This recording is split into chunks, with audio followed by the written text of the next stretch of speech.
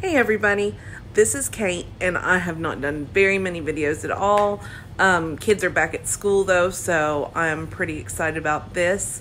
It is BoxyCharm for August and this is kind of my make it or break it with BoxyCharm because I have not really been enjoying it. So I'm going to go ahead and video the unboxing and we can talk about some of the items. All right. I've got my fall colors out as y'all can see. I was so excited when the kids went to school. All right, let's see. We have got our postcard, and it looks like we got some actually pretty good stuff this time. And please feel free to drop in the comments one of your videos, of your unboxings. Okay, we have Laura Geller multi-finish eyeshadow palette. Then we have Clara New York. I've never heard of her. But it's retinol cream with vitamin E.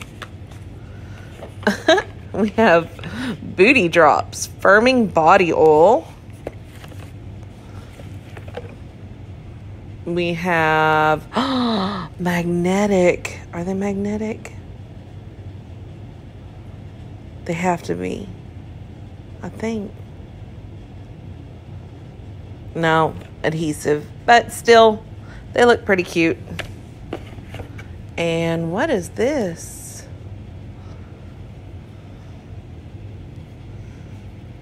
Hydration Happy. Oh, hydrating face mist. And that's it, y'all. Um, I have not been super happy lately with BoxyCharm. Used to, like, when I opened it up, I just like fell in love with at least two or three of the products. Everything's kind of been eh so far. Um, I'm gonna pause the video and open up the eyeshadow palette to see how, what you know what it looks like. And it's kind of eh, I don't know. Not something that like I'm super excited about and will probably be regifted. So sorry to anybody who gets this from me. if you're watching my video. It's really pretty.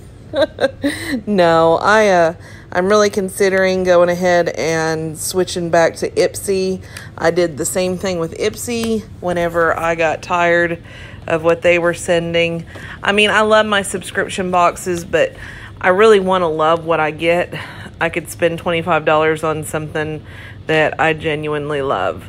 But anyway, that's just my August months. If y'all have done an unboxing or have pictures of your unboxing, please drop it below in the comments. It may convince me just to stay with BoxyCharm. Thank you.